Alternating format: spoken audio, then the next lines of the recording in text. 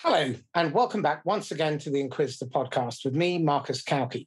Today, I have as my guest Tim Cakir. He is a growth consultant helping tech startups to achieve sustainable growth. He routinely gets frustrated with the lack of alignment internally within an organization, the blind spots that they do nothing or very little to address, and the fact that they spend a lot of their time measuring stuff that is meaningless, vanity metrics. Today, we're going to explore how to overcome those obstacles and what you need to do instead. It's going to be a very practical conversation.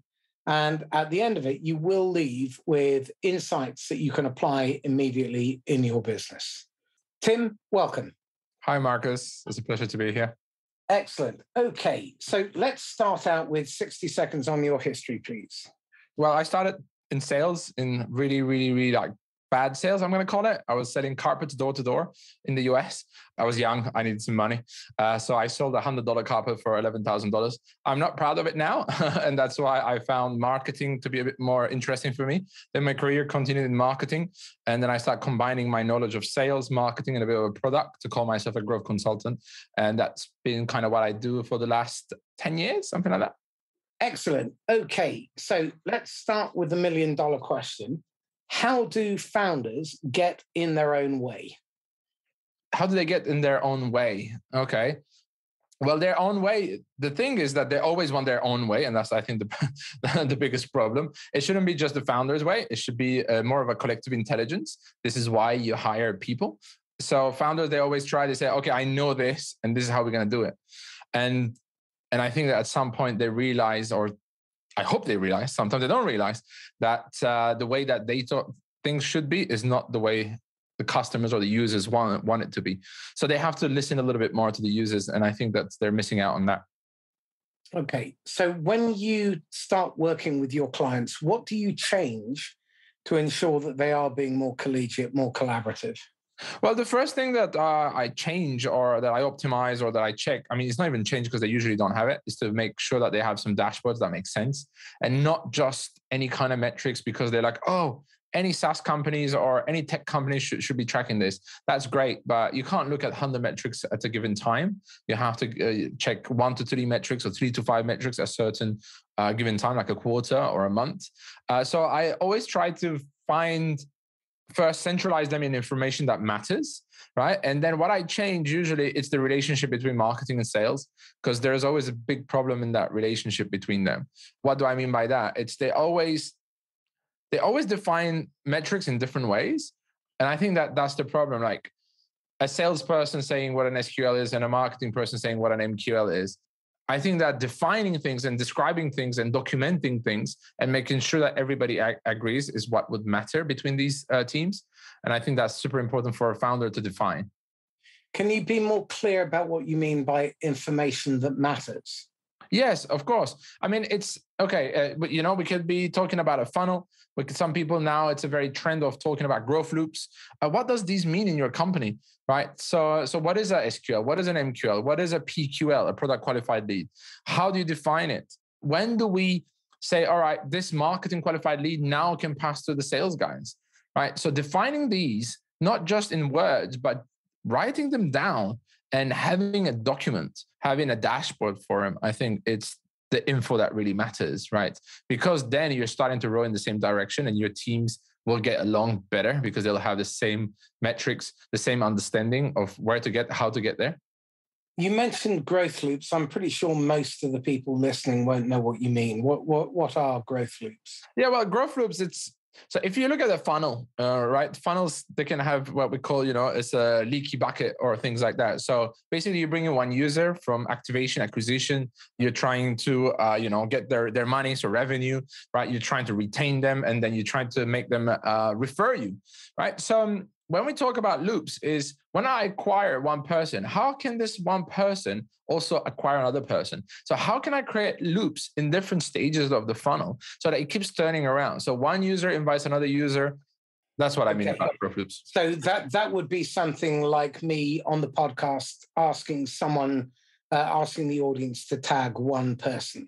Exactly. Yeah. Got it. Yeah, okay. but you can start thinking about that in different stages of the funnel, not just not just on the acquisition, but you can start thinking that on the on the retention. How can a user help you retain another customer by giving a testimonial, by giving a, a, user story, a customer story, right? So there are many, many places in the funnel that we can start thinking about loops and how to create these loops so that when we bring one person, we know they're going to bring more person and that we know they're going to retain each other, they're going to help each other, they're going to create a community.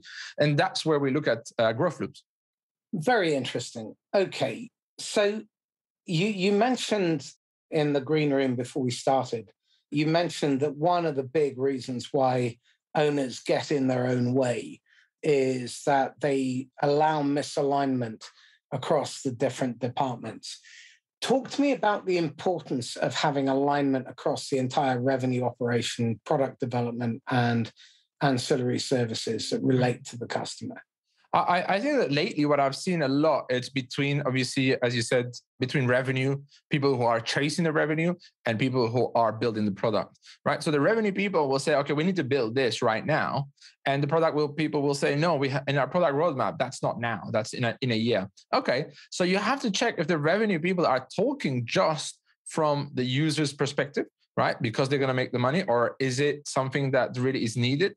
Uh, is there a bug or or the product people won't understand that because they'll be like, okay, product people want to build cool stuff, right? They want to always build cool features, cool things. And a lot of founders that are techie, they would love to build more cool stuff.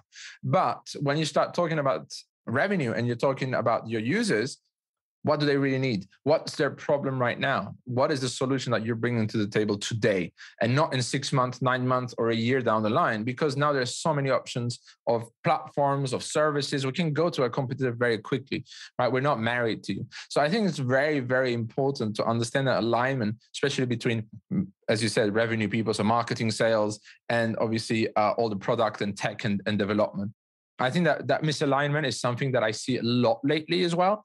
I think before we had that, but it wasn't so common to be building super cool products and keep building them because uh, as you know developers are very hard to get so when you have some developers you know you, you want to make them love their work so you want them to keep building cool stuff what i'm extracting from this is that there is no substitute from listening speaking to your customers, speaking to your frontline staff. That's where your product will, will evolve. That's how you get close alignment with your customer. And that's how you get everybody around the same purpose. Would that be fair? That is fair. I mean, you know, some people do user research and I think the user research that is done is very minimal, right? The big companies, the good ones, the ones that are doing great, I think they are obsessed with the user's problem. And it's not about the solution. They're really obsessed with the problem. If you if you do get obsessed with the problem you will find better and better and better solutions all the time. But don't be obsessed with the first solution that you've ever talked about. There are four rules when dealing with wicked super complex problems. One the first thing you try will fail. Your job learn capture the data apply rinse and repeat. Second is that the rules change as you go the mm-hmm. third is that your stakeholders will differ. And the fourth is there are no perfect solutions, only imperfect outcomes. Now, those four laws are really powerful when you have them front and center, when you mm-hmm. realize that you will fail, that the landscape will change, the players will change, the rules will change. Um, and whatever you try, it's never going to be 100%. percent mm hmm And there's always room for improvement. And that allows you to create the kind of culture where people are not afraid uh, to fail, where they are happy to take risks. They're not punished for making mistakes. Yeah, but failing failing is a very interesting conversation because you know uh, I think it was one of the first conversa- uh, first conferences that I was in Spain when I moved here five years ago. I said I said to the audience, and I didn't know the culture, right? So it's a bit of a different culture. I said, fail, fail quickly, and then at the end, we were having some beers, you know, those free beers in the conferences. And, you know, that's why I go to conferences or I speak to them. and somebody came to me and said, Tim, you just moved here, as you mentioned. Here, we don't like to fail in Spain. I was like, okay, all right. That's maybe I didn't make myself clear, right? Fail, but understand why you're failing. Make sure you're tracking why you're failing. Right? You have to have a success indicator. And if you're not hitting that success indicator, that's when you're failing, right? And understand exactly what is the failure, what is the point that you failed, because you don't want to repeat that failing. Failing for the sake of failing is not why we're doing this. No, failure is your best teacher along with your customers. And the the challenge is that if you don't understand that and you punish failure, then people will stop taking risks and you'll stop innovating. I would like to give an example. In one company, there was the failure of the month poster, and actually, the person who failed the biggest in that month would get a bottle of champagne, and it was celebrated at the end of the month. And I love that. I absolutely love that. You know, that gave you reasons to fail and reasons to try new things, right? And everybody was trying new cool, cool ideas, cool features, cool ways of selling. Marketing will try new messaging, new ads, new campaigns, and those failures got better and better and better and bigger and bigger every time. And it was just it was just incredible. I wish that every company could do that. Failure of the month. Absolutely. And I, I can't stress enough how important that is. But I, I think it's coupled with this other issue that many people don't know what they can't see. They are mired in blind spots. And because they've tended to recruit in their own image only weaker, those blind spots get reinforced, they don't get removed. And so there's a really strong argument to very early on start recruiting people who are not like us. One of the lessons that I've learned along the way is that diverse teams of people focused on the same problem tend to come up with massively more creative solutions than people who live in your echo chamber or uh, who are very similar know, it's all very well hiring people of different ages and races and demographics. But if all of them read politics, philosophy, and economics at Oxford, you don't have a homog- uh, you don't have a diverse group. You've got a homogenous group, and it's really important to involve people outside of the revenue operation as well. In my experience, you definitely need to involve customers, especially customers who are pissed off. Yeah. If you want to speed up your product development cycle by 600%, speak to unhappy customers. You need to speak to the people who are at the sharp end sales, operations, customer success, and hear what they are hearing mm-hmm. in an unfiltered format. Then you have to look at the input that other people can uh, bring, such as product development, finance, marketing.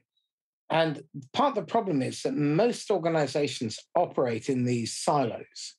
So, what do you do to break down those silos within an organization quickly so that they can start to collaborate?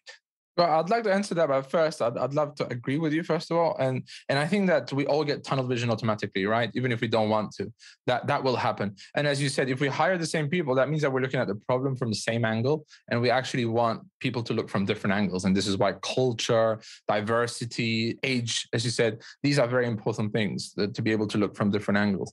I think to not fall into that, definitely recruitment is important. But after you've recruited, it's really making decisions together, right? So collective intelligence, as I call it, is very important. And I think that we're not doing that enough, right? We've seen this even in politics, obviously, between countries with, with the pandemic as well. We haven't collectively got together and, and figure out the problem, right? Instead, everybody tried to tackle it on their own way.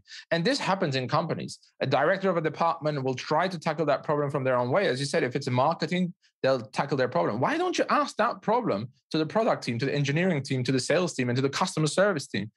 what they will say will very impress you, right? And and when you put these different people looking from different departments, different teams, different backgrounds, whatever, right? You put them collectively, and everybody starts, you know, understanding the challenge there that there is in front.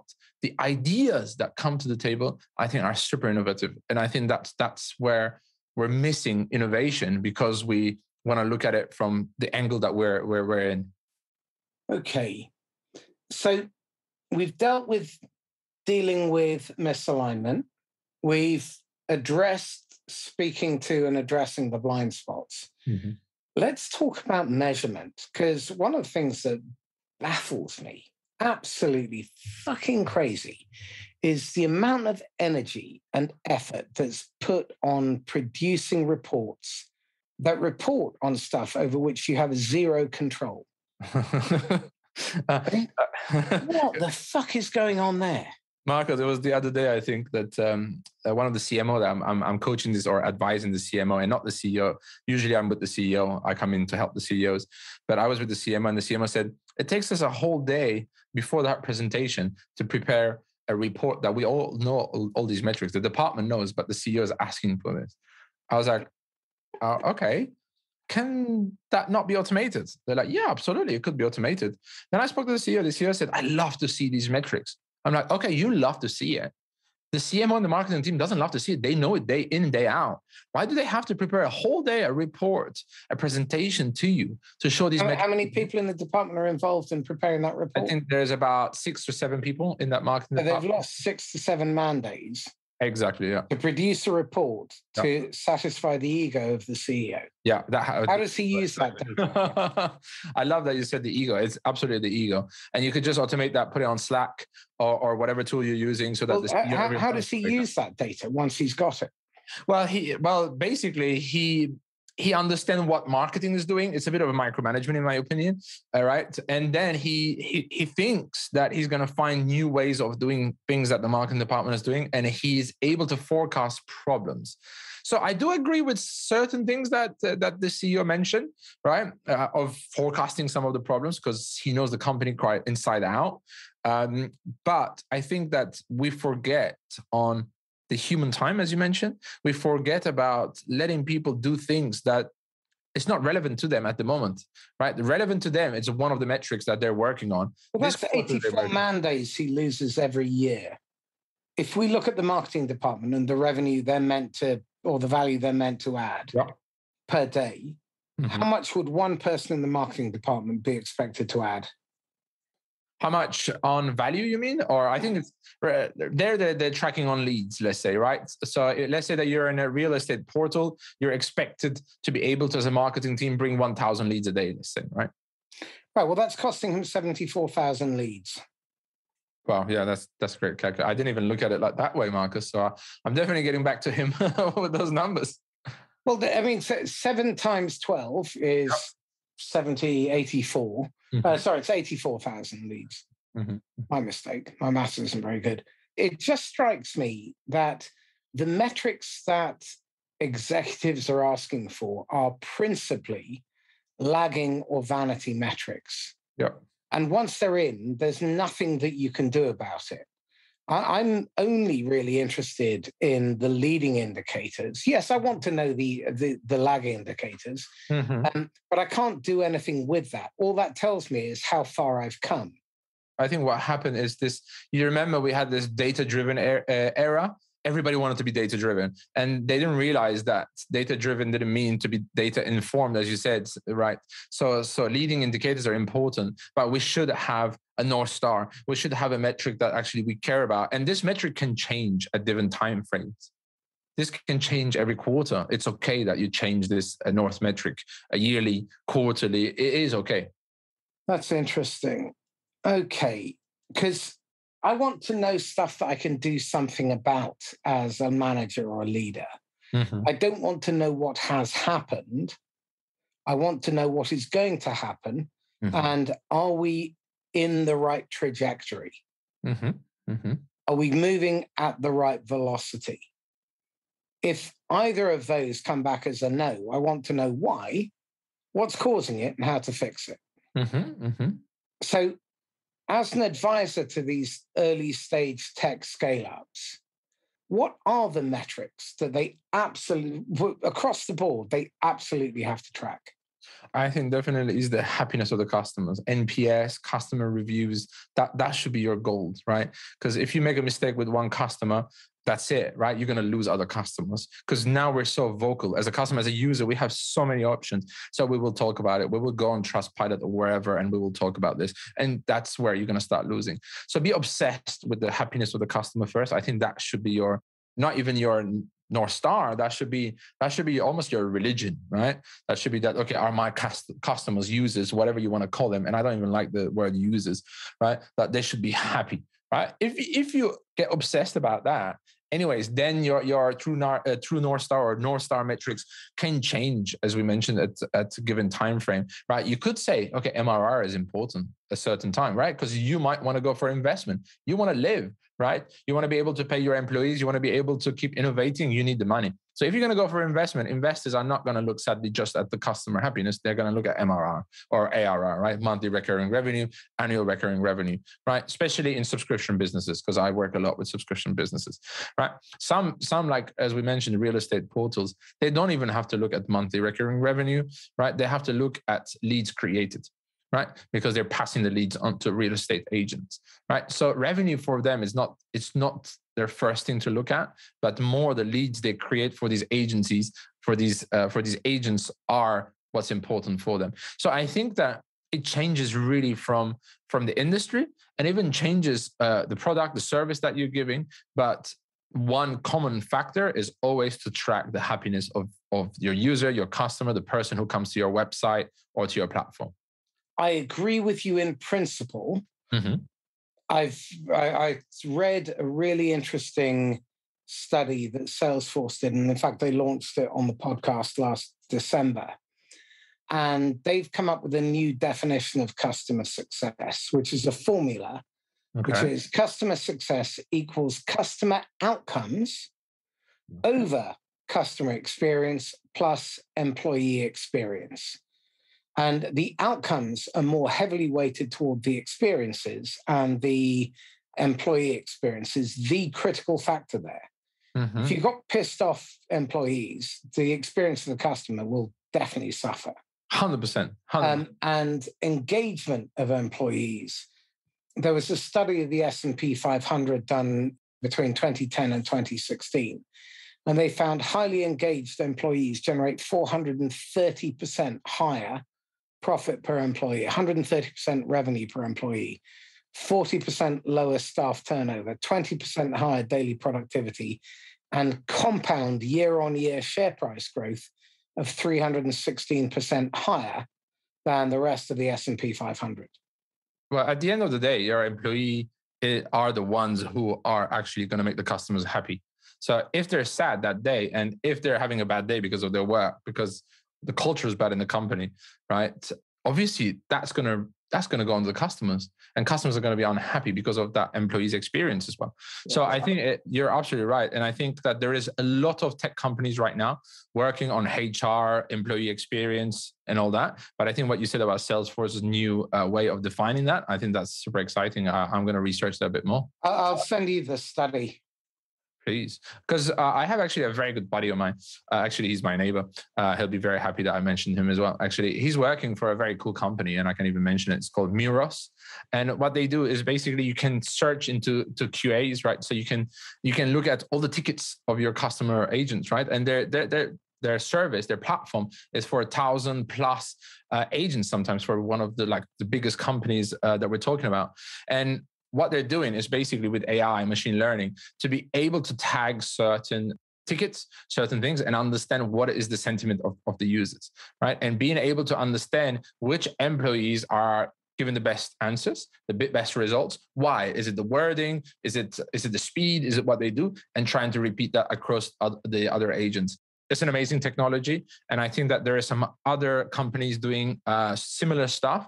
And I think that this is going to keep growing on how can we understand what is our uh, support doing that is good? What are they doing that is bad? And you know to fix the bad and to amplify the good. I think i think this is something that is, is going to grow and growing i think there are a couple of things that we really need to look at. We know that there are happy customers who leave vendors all the time because vendors have forgotten that customers do not buy their product or service ever. They never have and they never will what they pay for, they rent outcomes. And unless the emphasis is on focusing on the customer's outcome first, then chances are you will suffer from churn. And the metric that uh, Salesforce recommends is replacing NPS with TTV, time to value. Mm-hmm. Okay. So, how quickly does the customer achieve their intended outcome?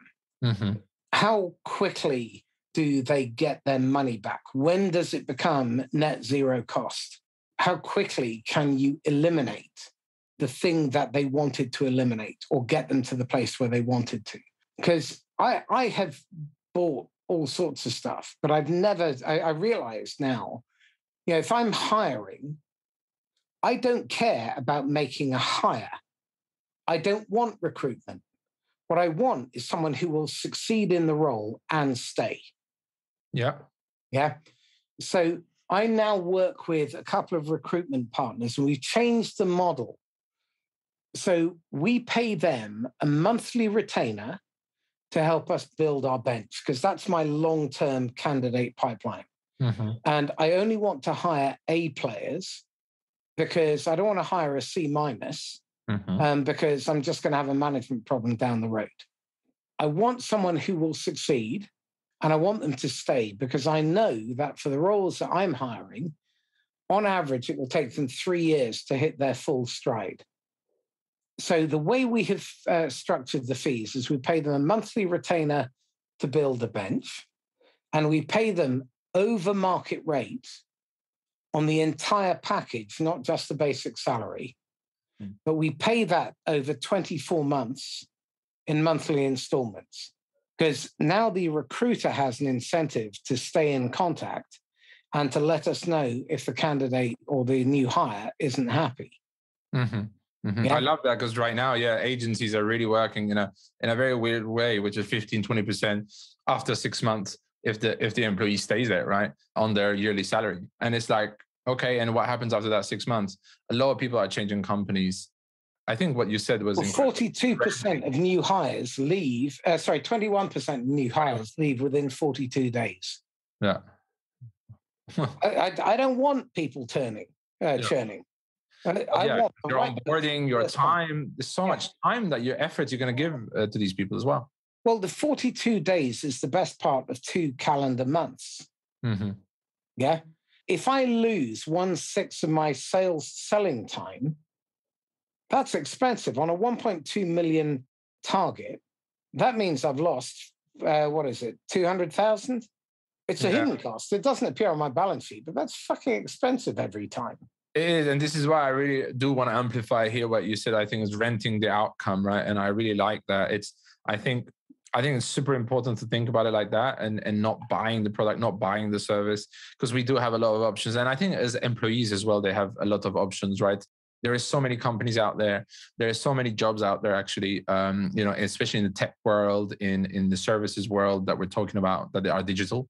And this is why the one the user uh, so the, the customer and the other the, the, the employee they can they can leave they can go whenever they want. But how do you keep them right? Is, is how do you keep them? I think is super important and that's believing in something as well. Gartner uh, released a study about a month ago saying over 40% of the us workforce intends to change their job in the next 12 months. I mean think about that. That's, that's a, a collapse of the us economy. Yeah but that's going to come anyways at some point. But yeah, but I mean, just think about it. Over forty percent of all the employees in your country looking to change their role. That's bad. That's a terrifying. That's really bad. That is really bad.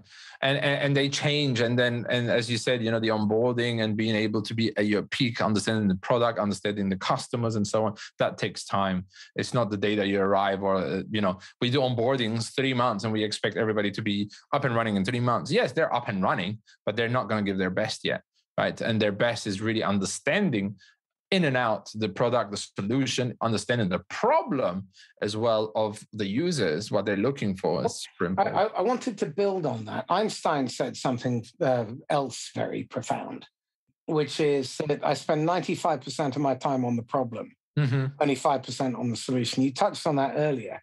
And what flabbergasts me is how much time people spend on solutioning without really understanding the problem and the implications, the people, the cast of characters, the uh, timing, the emphasis, these are complex problems. Mm. And they warrant more than just simply trying to do a cookie cutter solution um, or coming up with a fix quickly. I think part of the problem is that so many executives in business have this, you know, rush gene. They're, they're always looking for the quick, easy fix. I, I don't think there is. I mean, I, I, I always brand myself as being intelligently lazy. You will be hard pushed to find someone who will do less for a living than me. but the work that I do, I do intensely so that when I'm in front of the customer, I've got to do next to no work. Well, because you love what you're doing as well, I bet you. Yeah, that, I mean, that definitely helps. But I, I, want to have done all the prep work mm-hmm. before I turn up. And I want to have done my research. I want my questions ready. I want to know where I'm likely to find a rich vein to tap. I want to understand what the competitive landscape for me looks like, for them, all that kind of stuff. I can't do that if I'm trying to speak to 10,000 people on my database. Absolutely not. Absolutely not. It's because you bring custom solutions as well. You don't bring generic solutions, and that's exactly why I don't work more more than three to five customers at a given time. Right, uh, but this is a mistake people make. Everything you sell is bespoke. Yeah, it should be, and everybody goes Even generic. If it's like, I've tried it. Yeah, everybody everybody goes. I've tried this before; it works. So let me sell you this. No, everything has to be custom made for that for that problem for that solution, right? And and just going back to what you said about the problem 95% einstein was thinking about the problem and it's not just about think, thinking the problem but we have to be so obsessed that we have to also think about the frequency of the problem yeah, right yeah. yeah. how many times the users have relevance yeah relevance frequency and, and we don't we don't think about this. We don't think about it sadly. I think that we we have to start thinking about you know we have to put ourselves in the shoes of the user for sure. And we are we are consumers ourselves. Even if we're doing anything b2b at the end of the day we are consumers uh, in our outside work. And we can see these problems happening to ourselves and we really have to understand these problems before we try to bring anything to the table. And i think that people build solutions and they're like here's the solution. It's like no no no please test even that. Test that solution. Test that mvp you know. And you know we were very obsessed about mvps but i think that i think we've still for anyone who doesn't know that's minimum viable product. Yeah yeah yeah sorry. And and we still haven't even understood how to do that because we're like okay uh, you know we, we we've done the minimum viable product. We've tested it for three months. That's it. Let's we built the solution. Let's go and then they stop testing it right and they they just they just build on top of it. And then what happens is that three years later, your company closes or, or, well, or you go bankrupt. My friend Jerry Lemberg was the first investor in Apple and in Microsoft. Uh, he was one of the original founders of Intel, or he claimed. And Jerry went into venture capital quite early in his career. He said he described entrepreneurs as people who produce elegant solutions to problems that don't exist. And I think it's really important. Your baby, let's be honest, is yeah. fucking ugly. It came out looking like a squashed rat. It wails, it shits, it vomits constantly. That's what your baby is. Do not think of it as the most beautiful thing on the planet. You need to find a way to make it fit for purpose. Your customer is the only determinant of that. You may have a great idea, uh, did, did you know 40% of service desk tickets occur because engineers built the product? Makes they sense. didn't speak to a user. Yeah. Now, this is why I think that there, there is something grotesquely wrong. Whilst it's important that we meet our team, I mean, what's more important is to have outsiders come in and work with us. Yep. I don't think for, for sales, the sales meeting should never, ever, ever be a pipeline review meeting. That is the kiss of death. You've got 10 salespeople listening to nine other people lie about what's in their fictional forecast. Utterly fucking pointless. Yeah. Every sales meeting should be a learning opportunity. You should be bringing in externals, people who are directly or indirectly affected. You should bring customers in and they should tell you the unvarnished, unfiltered truth. Other parts of your business need to know how the work that you are doing in marketing or sales is affecting everybody else. Operations, for example, is almost never involved in sales meetings. Mm. Customer success is brought in after they've made the sale. You've got leadership who almost never speak to customers. Why? It's absolutely ridiculous. And this is why I think that now slowly these department things are i think they're slowly changing right we don't do departments but we do uh, what i call them myself squads or some call it tribes or whatever Yeah. right?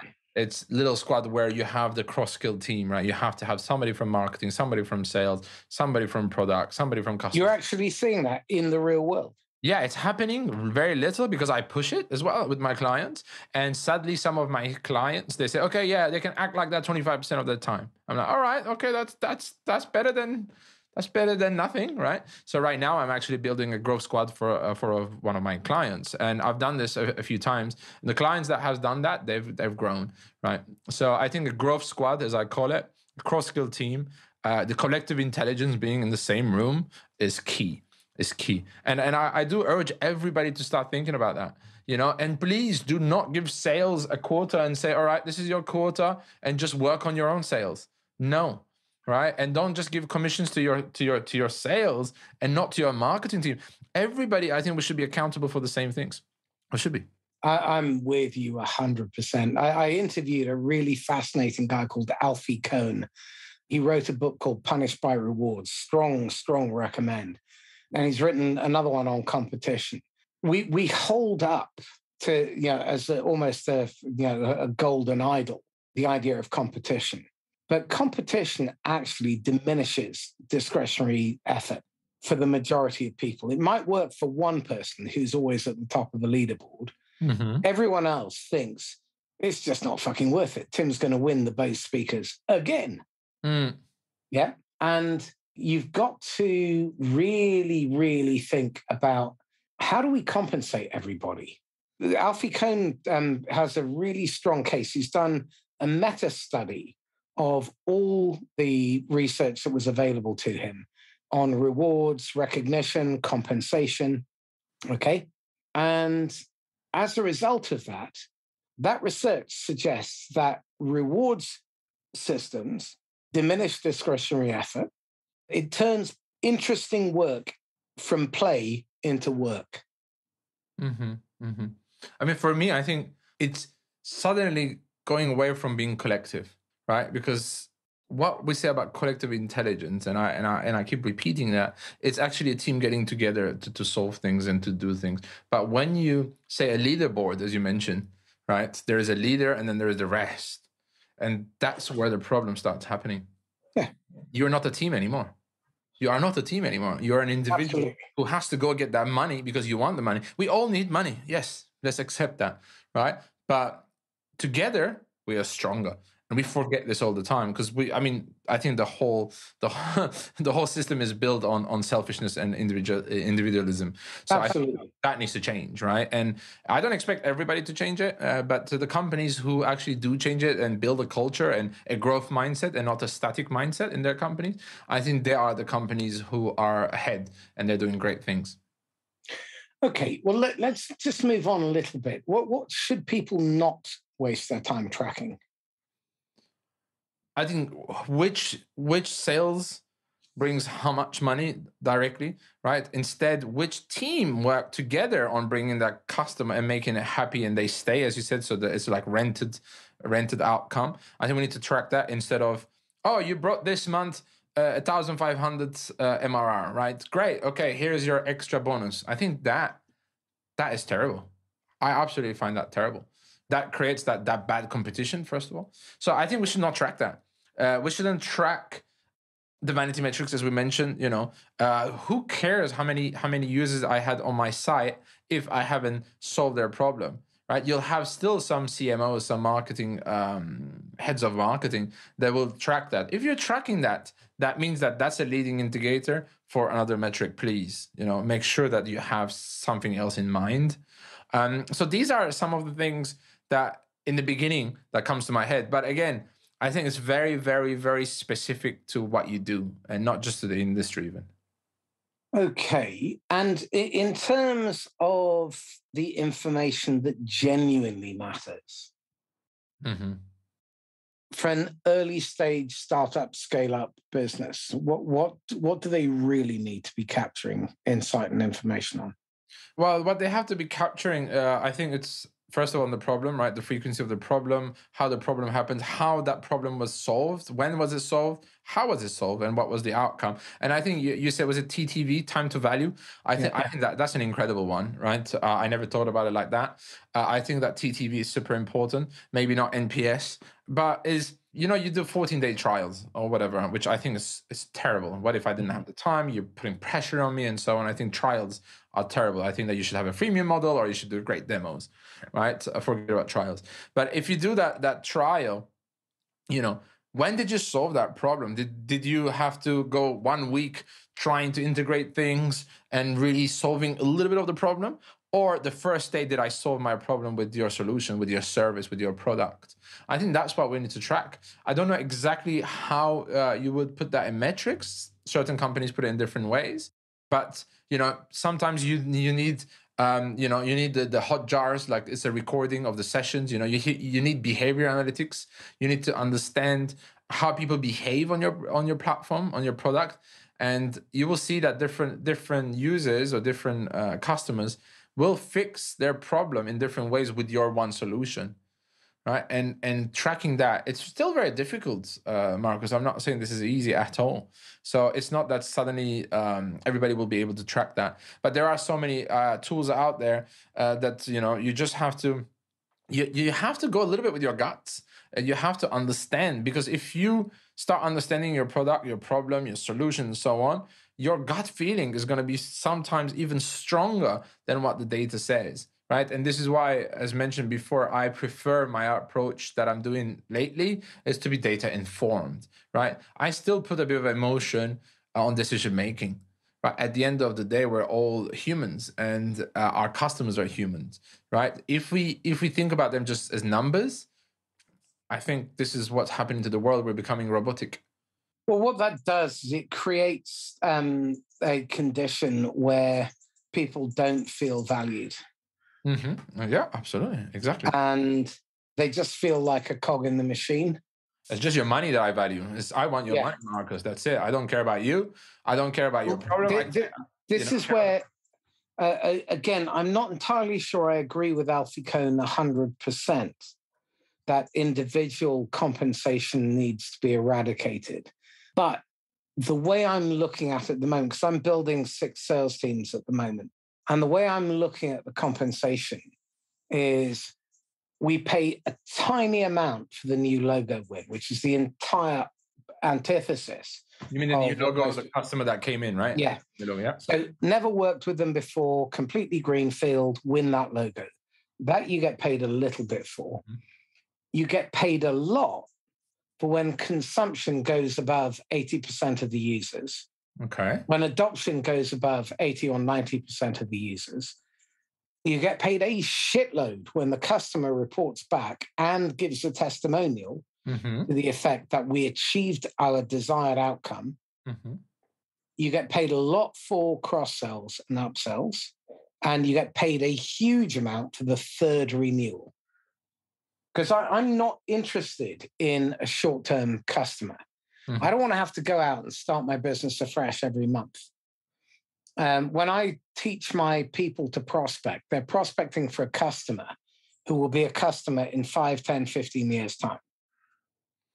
I would rather they didn't take the business, even if they could make the sale, if it's just going to be a one off. I'd rather they spent that time going out and finding a 15 year customer for life. I completely agree, but again, it's very sales specific, right? And and I think as as the person that you mentioned, I think again when we do that, I think we're very thinking about individualism again and individual compensation. So I'm trying things right now, which I'm trying to to to, to build a framework. Well, let, let, let me just qualify that. Yeah. When the customer achieves their outcome, everyone on the team, ah, okay, marketing, customer success, sales, operations gets paid a shitload of cash this is why it should be little squads right? There should be a little squad of a sales guy a marketing guy and so on and they should have their own niche they're targeting uh, with their squad or, or something like that because then that makes sense right? And you could you could bring that marketing can help bring that customer sales can close it customer support can make sure that that's going really well and together they be able to share that compensation. That i agree with. Yeah. That i agree with right? But i'm testing so like even newer things is okay, that's your day to day work, Marcus, right? You have to go get customers, you have to bring new logos, you have to close deals. But how can you innovate more? How can you bring the company to the next stage, right? What are the ideas that you bring to the table, right? What is your creativity? How do you think about things, right? So I'm trying something that I call the GCO. It's uh, still early days. Um, you know, it's goals, challenges, and opportunities. It's a little bit, I think it's, uh, I want to, I, I, don't want to say this, but I'm going to say it. it should be like OKR's uh, V2, right?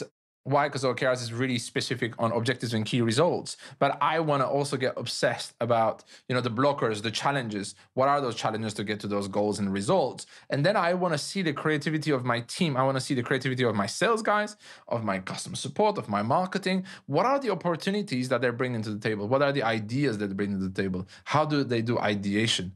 You know, how do they together find new ways of doing better? I agree. I think we waste so much energy by putting people into silos. And what's really interesting is in Wealth of Nations, Adam Smith talked about creating that pin factory. But near the end, he says he thinks it's a really bad idea. So one person hammers out the wire, another one sharpens it, another one straightens it, another one uh, bangs out the head of the pin, another one glues the pin together, another one polishes it. Well, the last two to 300 years has dehumanized work. And the sales operation, particularly the last 40 years, has become the pin factory. Yeah. And as a result, I don't, because uh, I, I, I have a theory that the trend will be to move away from that specialization. And we will see a big growth in 360 selling. Mm-hmm. So they will be responsible for the whole sale throughout and managing the relationship going on forward. Mm-hmm. Now, you can't do that with what passes for great in modern selling. What passes for great is a lone wolf, individual contributor, highly competitive, highly money motivated, and high uh, high will to win. Mm-hmm. Yeah. Now, have you ever been sold to by someone who is really motivated purely by money?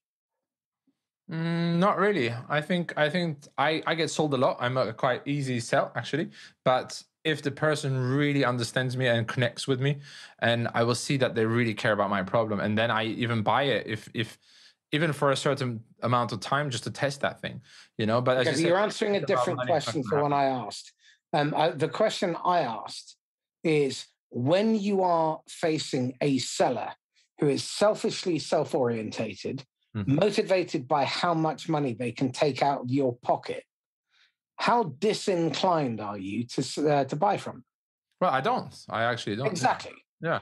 Now, there are plenty of people in sales who are very successful doing that, but their model is one where they throw the problem over the fence to the CS people or operations, and they don't care if it churns. It's the hot potato. That's what yeah. I call it. Right, the hot potato. Here, I close this client, but here's the hot potato customer support. You deal with it. Yeah, you deal with it. There, there's six months worth of stuff that I lied about that isn't on the isn't available at the moment, and it may or may not ever happen. And I exaggerated this, but it's your problem. Fuck off. I had a team of 17 salespeople, and they were all sitting in two desks, like two massive desks. And the customer support was at the end of uh, the room, right, or um, in our office, in a, in a physical office. And I realized this, and I called it the, the, you know, we called it the hot potato. Is that right? As you said, they're lying, they're bullshitting. They're like, okay, you know, uh, yeah, yeah, we, we're gonna have that feature, or we have it. Don't worry, that's coming soon. You know, just whatever to close the deal because they want to be on that leaderboard and because they get more money and so on on their commission. And they want to keep their job. Exactly right, and, and, then the customer support. I've had customer support agents even cry. To be honest with you, you know, they're like, "Why? Why do I have this account? We've lied to this account, right?" So what we've done, really, Marcus, is to put them together, put them to sit together. One sales, one customer support started to sit together, close the same clients, and keep the same client That has completely changed that that changed then. I remember that really, really well, and I think that we, better sales happen. Better sales. We, happen. we we've made. Uh, I made a conscious decision within my companies that unless CS signs off on a deal, sales can't sell it. That's perfect. And it's created a certain amount of friction and pushback. But I do not want to sell something we cannot deliver. It's just crazy. But that customer support agent also has to speak to the client to see what they were promised, not just in the contract. Yeah, they're they're in the first or second meeting. Exactly. Then it makes sense. Then it makes sense. I like that. I think I think this is definitely a problem. You know, is sales directors and and you know they think about just sales as well. You know, let's not think about just sales. Let's think about the company. Let's think about that problem. Let's think together. Well, uh, let's think about the customer. Don't start with the customer. If the customer isn't at the heart of every single decision that you make, then chances are you're fucking up because the customer doesn't care about your target, your quota, your mortgage, you making payroll. They care about all of their problems, and you are at best an interruption to their day. Once you become their partner, yeah, partner, and that therein lies a huge difference because you have suspects, prospects, customers, clients, and partners. If you don't make yourself your customer's partner, then I think you're missing a really important part of the equation. You know, everyone talks about becoming a trusted advisor, all that kind of stuff. I say bollocks to that. When I wrote Making Channel Sales Work, we defined a partner, uh, partners as people who help each other get better. That's the kind of symbiotic relationship vendors need with their customers. We help them get better in their business, and in turn, they teach us how to produce better product to help them get better still. And that's what I'm looking for from my salespeople. But that's what I'm looking for from my channel and strategic alliance partners. Mm-hmm. I don't want another customer. I want partners. Yeah, I love I love partners much better. But isn't it isn't it why I think now the line between marketing, sales, and so on is is really blurring, and this is it's why always been blurred. It's just there, there was this ludicrous false distinction. Anything that touches the customer is marketing. We are the point in sales where our marketing touches the customer in person. Mm-hmm. That's it. As far as the customer is concerned, sales, marketing, operations, finance, IT, they're all your company. They don't care. Yeah, they don't care. They want shit to work. Isn't it why though? I think that this new growth growth roles are coming. Everything growth, right? You have product led growth, sales led growth. You have whatever led growth. Chief growth officer. Yeah, everything is becoming growth, right? I was actually a chief growth officer at some point. you know, it was it was just trendy, and I wanted that on my CV. you know, but I think that this is why the idea of departments i think this was created you know in the industrial industrial age we say we're in the internet age that industrial age is gone i don't agree because we still work the same way that we worked in the industrial age as you mentioned I mean, nothing's changed. Exactly. The, the, reality is that what's changed is the technology. Yeah um, that's it and we call it internet age but no we're still working the same way. We need to change marcus we need to change how we work right? Well, human beings haven't changed one iota. Mm. Um, and this is where the problem is because management hasn't really shifted its thinking in terms of the context in which customers operate, in which we operate. I look at the uh, the incredible explosion of truly stunning, amazingly clever AI, mm-hmm. and that was never available to us before we, we are now in a position with some of my partners, we can actually tell what a business to consumer consumer will buy in nine months' time. Mm-hmm. Where you stand on their uh, their ladder of perception. So you might be the number six brand in their perception, and in nine months' time, I know you are going to buy a car. Mm. And using the AI, I can help you to identify what your buying preferences are, what your journey will be, what the things are that will uh, uh, gently nudge you to move from number five to number four, three, two, one, which offers I should present you with, what language I should use, what imagery and videos I should use, and what sequence, what the choreography looks like. With another piece of AI, it's literally point and shoot. If you ask it the right question, you point it towards a population, it can tell you with this, it's very, very clever, really simple concept. Do you know those 3D wireframe drawings? Yeah. Okay. So if we imagine each population has a shape. Yep. Okay. So let's pretend Tim's customer has the shape of a spiky donut. Hmm, okay. Okay. What I do, and I don't need to know any context. Literally, all I need is your linked the LinkedIn URL of your records in your CRM, and the rest I can then go out and find from public domain sources and pull back a list of people who look like a spiky donut. That fit that, yeah, that fit that. And now I can give you those people and you can target those individuals. So out of a list of 10,000, 267 are worth contacting.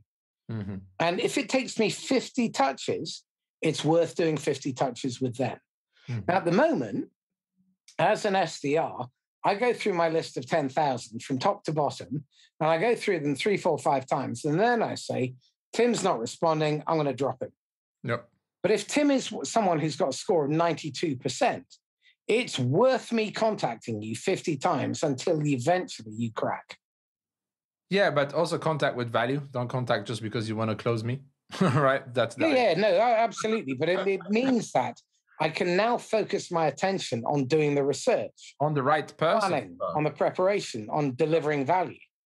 But this is what's happening uh, as well, Marcus, uh, in marketing, right? We had these personas, and before personas were very demographics. Uh, then it became psychographics, right? And now we can actually understand these people even better with, as you said, with machine learnings and and so on. And and really, we can understand even if the demographics are the same, demographics are the same. That doesn't mean the psychographics are the same at all, right? And if our psychographics are different, possibly I'm not going to buy that product. I'm not going to buy that service Yeah, so we have to really dig into the person and understand how they behave what are what are they looking for what's their personality and so on perfect.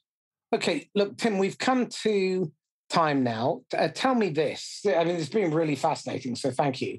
If you could go back in time and you could whisper in the ear of the idiot Tim, yeah. who was immortal, invulnerable, knew everything, what one bit of advice would you give him? i just said this i think yesterday because i teach i'm a professor at uh, masters as well here in barcelona and i told my students i said i wish that somebody told me this when i was your age. And it was track the past order the present design the future right it's because when i was that age i never tracked any, all my past i didn't write anything down i didn't order what i had around i didn't organize myself and i didn't design my future i didn't i just went for it and and if I had done that, I think I would have been in a different place. I'm not complaining. I'm very happy where I am, but I think that I could have been the next level. I could have been Tim Tim 2.0, right? And and not this version of Tim. And so I do recommend to everybody to really have a system, you know, have a system where you can track what you've done, what was the outcome, what you learn from it, what you're learning. We're learning every day. Oh, God, yeah. Our brain is not made to store information. Our brain is made uh, to make decisions. The cognitive power is not Dropbox. It's not a store a storage cloud. Don't don't don't put it inside your brain. Put it somewhere and start thinking about the next thing. Excellent. Okay. So tell me this. What what are the books that or podcasts, videos that you would recommend people really pay attention to if they want to build a sustainable scale up in tech that has longevity that will I think- survive? I think if it's for founders, I think it's to look themselves first and not just read business books, but read more things like uh, Atomic Habits by James Clear, right? Read things more like Essentialism by Greg McKeown. Brilliant uh, books, both of them. Yeah. Yeah. So- So I think that it's looking at ourselves, being happy with ourselves, first of all, us being that culture that we want to bring to the company. Because we always say, okay, we want to create this culture, but we are not that culture yet ourselves. We have to lead by example. So I think anything around that. I also like the podcast of Scott Galloway because Yeah. yeah, It's brilliant. Yeah, I think I love the guy. I think he's crazy, and I love how how how he puts everything bluntly. I think that's awesome. And uh, I think also online, if you want to follow a blog or anything, I think first round review, first round. I love what they write about. It's very specific. It's very uh, process driven, framework driven, and be obsessed with frameworks at first, and then adapt them to yourselves. You know, um, optimize them. Make sure that you find a way of doing that framework in your company in your own way then i think you have the best information you can get I'm going to add to that. Almost every business tries to go direct. And I'm going to give you an apocryphal story. So, one of your neighbors, a guy called Simon Severino, has eight employees. And last year, he attracted five and a half thousand new customers. And he did so through strategic alliances. And any tech startup or scale up should start with a channel model in mind or a strategic alliances model in mind. That would be my recommendation. Mm-hmm. I'm in the throes of writing a book on exactly this subject. In October, I plan to launch a mastermind group around strategic alliances. Uh, I look at someone like Tom Matson. He does well over 100 million a year, all through strategic alliances. And I think it's him and uh, a VA. Exactly. I mean, that's what I was going to say. You said eight people, or you say, you know, it's incredible that you can do those numbers with just being that small team because of your alliances. Absolutely. I agree. I'd love to read the book when it's finished, Marcus. Absolutely. Will do. So, how can people get hold of you? My website, Tim Kakir or Tim Chakir, as you mentioned, you said the right way, but I know that a lot of people says Kakir. So T-I-M-C-A-K-I-R.com. Uh, I have a newsletter there you can subscribe to where uh, usually on Mondays I try to give you all the tips, tricks, what I've learned. Uh, and obviously the same name, first name, last name on LinkedIn are the best ways to contact me and to find out what I'm doing um, professionally. And sometimes I even share some personal thoughts. Excellent. Tim Cakir, thank you. Thanks so much, Marcus. Was a pleasure. So, this is Marcus Cauchi signing off once again from the Inquisitor podcast. If you found this useful and insightful, then please like, comment, share, and subscribe. And do someone a favor tag them. Actually, tag another human being who would benefit from this conversation and uh, invite them to uh, participate. Please get involved in the conversation as well. If you've got questions for Tim or for me, then pile them over. You know, we're very happy to engage. And uh, both of us are obsessed with helping people. And nothing gives me a greater thrill than hearing that my clients or listeners to the podcast have found it useful and they've been able to apply it for profit or uh, personal advancement. So do please get in touch, leave comments. If you disagree with what we said, tell us we're assholes. Perfectly happy with that. so, in the meantime, stay safe and happy selling. Bye bye.